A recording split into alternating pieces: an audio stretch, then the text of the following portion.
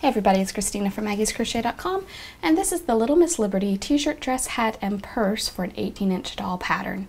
Now, as you might assume from the, the title, there are three different pieces involved in this pattern. You get the instructions for the t-shirt dress, shows you how to put on this cute little skirt, the edging for the sleeves and the neckline, and also how to make this cute little star here. You get the directions for the fun little hat, and also the little over-the-shoulder purse with the cute little star on it as well. These are all easy skill patterns. All are made with a size 10 cotton crochet thread and a steel number 7 hook.